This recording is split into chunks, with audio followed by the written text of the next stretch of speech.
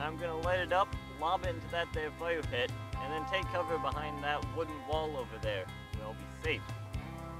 Safe.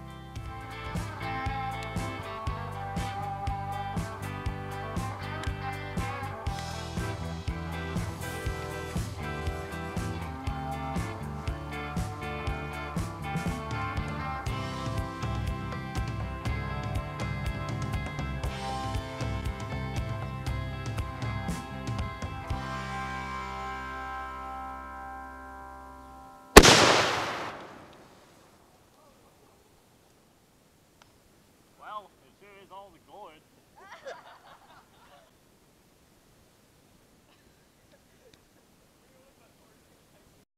This particular kind of firework has three stages, and each is separated by a membrane inside the cylinder. The first one is to propel the firework up into the air, the second one is the main explosion, and the last chamber is dedicated to the sparkles and flash that you get out of a firework.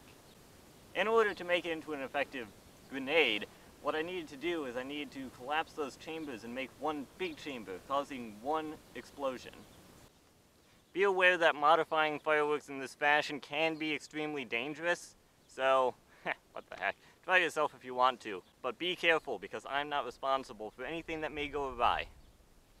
Further, I wanted to keep the explosion contained so that it would build up pressure. The way I did that was by putting the firework inside a gourd, of all things. Because the gourd walls would contain the explosion for just long enough to allow it to build up the energy, then bang!